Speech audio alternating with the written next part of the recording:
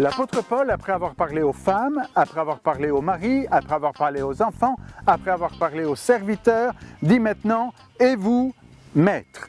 Donc il s'adresse aux maîtres, c'est-à-dire aux employeurs, aux patrons. Il dit, et vous, maîtres, agissez de même à leur égard. L'apôtre Paul est en train de dire, les serviteurs doivent être respectueux par rapport à leurs employeurs, et il dit aux employeurs qui sont chrétiens et qui lisent cet épître aux Éphésiens, vous, employeurs chrétiens, respectez vos employés, agissez de même, c'est-à-dire sachant que le Seigneur donnera en fonction du bien que vous aurez fait dans vos relations de travail. Agissez de même à leur égard. Et il dit, abstenez-vous de menaces, abstenez-vous de menaces, ne faites pas pression, ne faites pas d'abus d'autorité dans vos relations de travail, et au contraire, sachant que leur maître est le vôtre dans les cieux, et que devant lui, il n'y a point de favoritisme. L'apôtre Paul rappelle une chose aux employeurs chrétiens, c'est que le maître ultime, c'est Dieu, et que nous sommes tous devant Dieu égaux.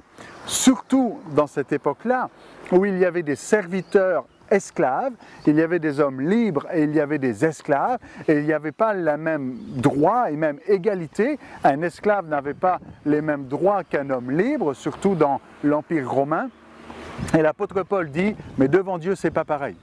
Devant Dieu, nous avons tous les mêmes droits, nous avons tous les mêmes privilèges, nous avons tous la même grâce devant un Dieu qui ne fait pas de favoritisme. Alors il rappelle aux patrons et il dit aux patrons qui sont chrétiens, surtout faites attention à respecter vos employés et souvenez-vous que ce sont vos frères et sœurs et que devant Dieu, il n'y a pas de favoritisme et que vous aussi, même si vous êtes patron, vous avez un maître et ce maître est dans les cieux, et ce maître est le maître de tous.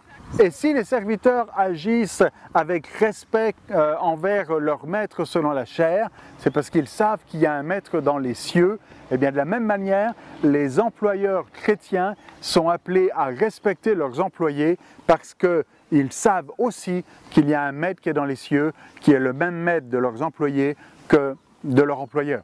Alors je ne sais pas de quel bord vous êtes, vous qui m'écoutez aujourd'hui, si vous êtes euh, eh bien, un employé, respectez votre patron. Maintenant, vous pouvez être un employé dans un cas, et puis vous pouvez être un employeur dans un autre, c'est-à-dire tout en étant employé, vous pouvez être chef d'équipe, vous pouvez avoir des, des personnes euh, sous votre responsabilité, respectez-les, et vous qui êtes patron, eh bien même si vous n'avez peut-être pas d'autorité euh, au-dessus de vous en disant moi je suis le patron et personne ne me dira ce que je dois faire, eh bien si, souvenez-vous qu'il y a un maître dans les cieux qui vous demandera des comptes.